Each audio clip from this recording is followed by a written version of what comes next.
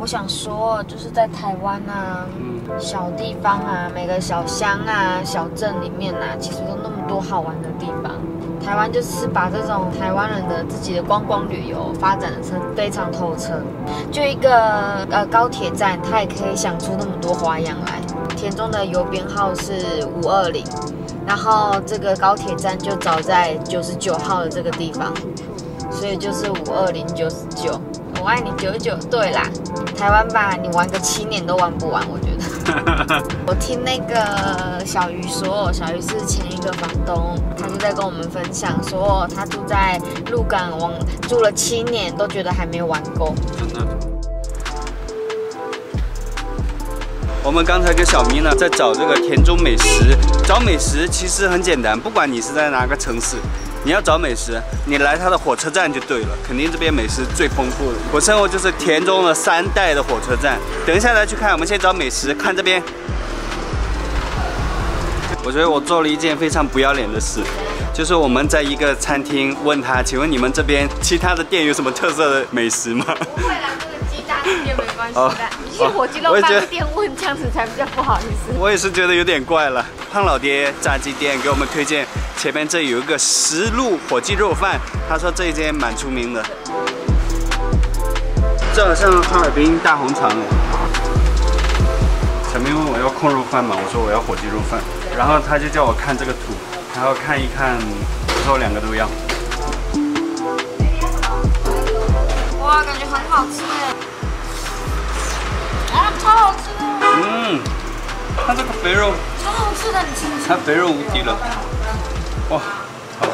就是小碗的，小碗的就有一种小碗的美，就好像我人矮矮的有矮矮的美。精华。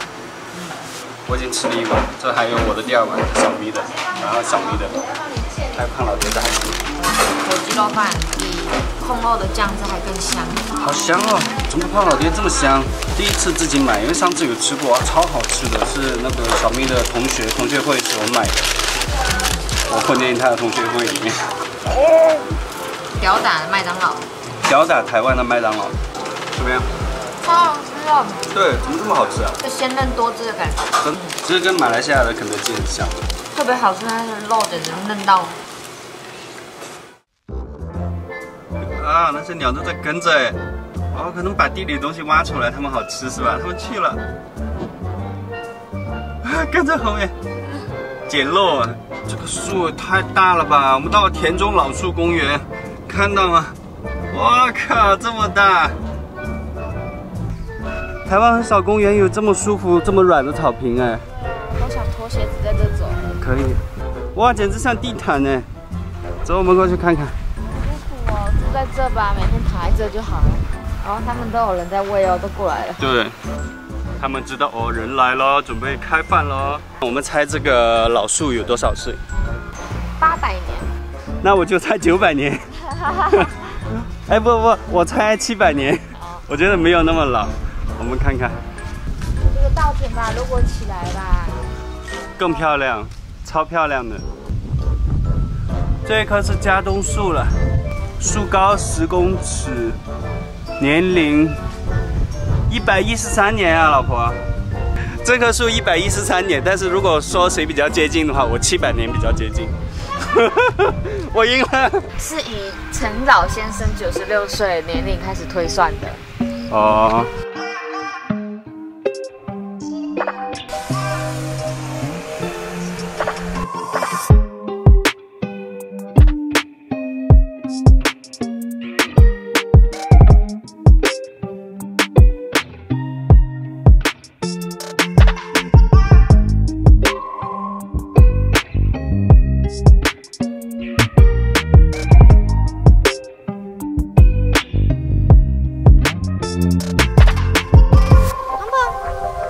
红干，你睡觉了。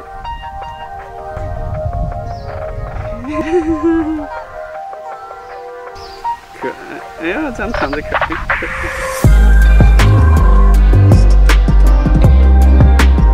对，如果做做起来，哎嘿，不要以为我们到了高尔夫球场或足球场，这里是卖草皮的，如果没错的话。卖草皮的。我身后这就是田中车站，这个小木屋呢，就是最早的第一代火车站，是一九零五年日治时期建设的。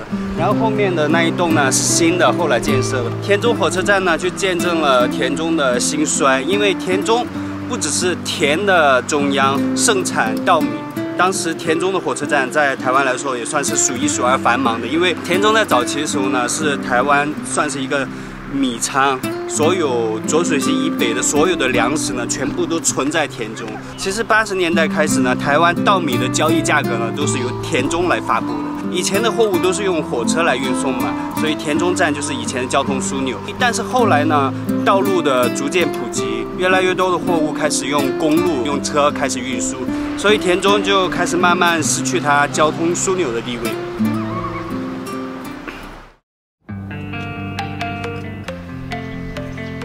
我们现在到的这个地方呢，是田中的猫街，整条这个小巷呢都是陶瓷做的猫咪，充斥在各处，都是一个艺术家做的。田中的窑厂呢就在旁边。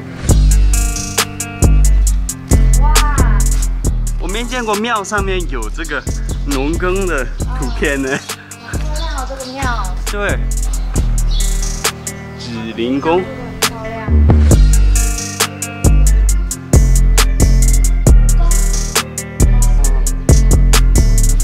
对，庙的壁上画十二生肖，我真是没看过。超好看的，哇，真好看，真好好看。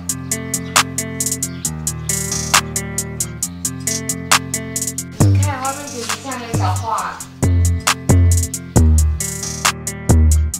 太空吗？嗯，可爱死了。这一排所有的这石墩上面全部都是猫。哎，我没看错吗？那是狗。这个是很讨厌的狗，哈，八哥。哎，这是这是八哥猫吗？这个人真的是很有心捉猫哎，应该是原本一开始慢慢做做做做，哎，越做越多，不知道家放哪里摆摆出来外面好了。对，全都是。